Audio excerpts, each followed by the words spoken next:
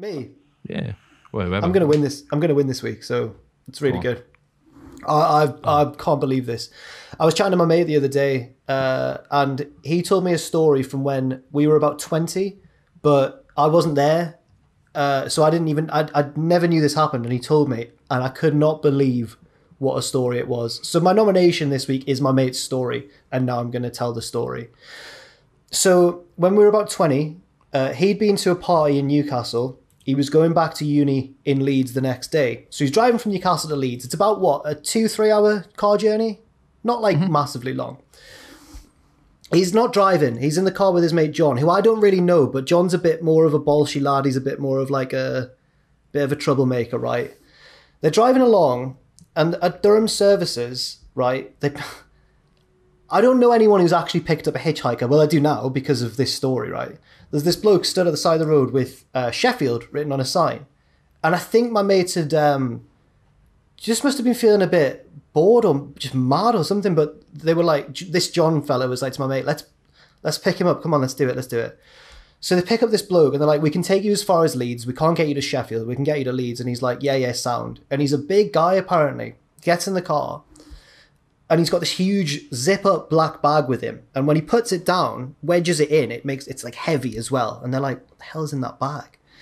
Driving down the road, and at one stage, just trying to be friendly, my mate goes, "What's in the uh, What's in the bag, mate?" And the guy goes, "F all to do with you."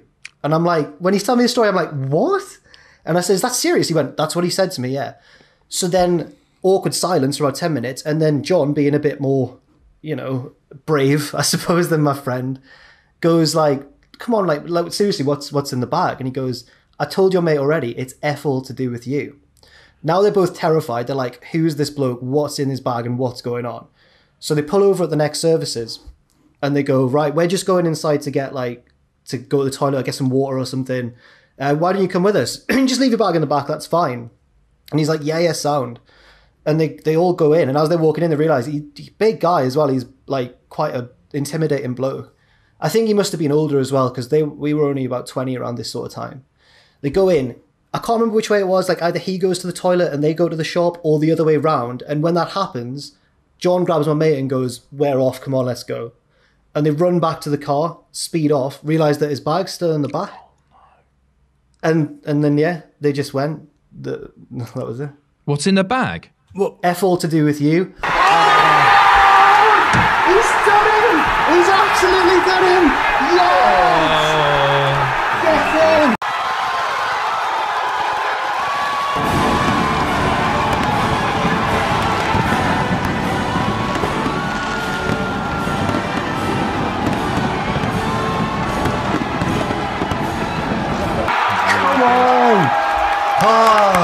Terrified. I was so So scared. good. I was so scared that it wasn't going to work. Yeah, that's a nice Oh, story, mate. Jack. Matthew, I've what's been- yours? I've, wait, I've been bragging to people all week. I'm going to trick them with this. I'm going to trick them. He's done it. He, oh, that was Mate, I've beautifully been- executed. I've been counting down the days to the podcast like Christmas.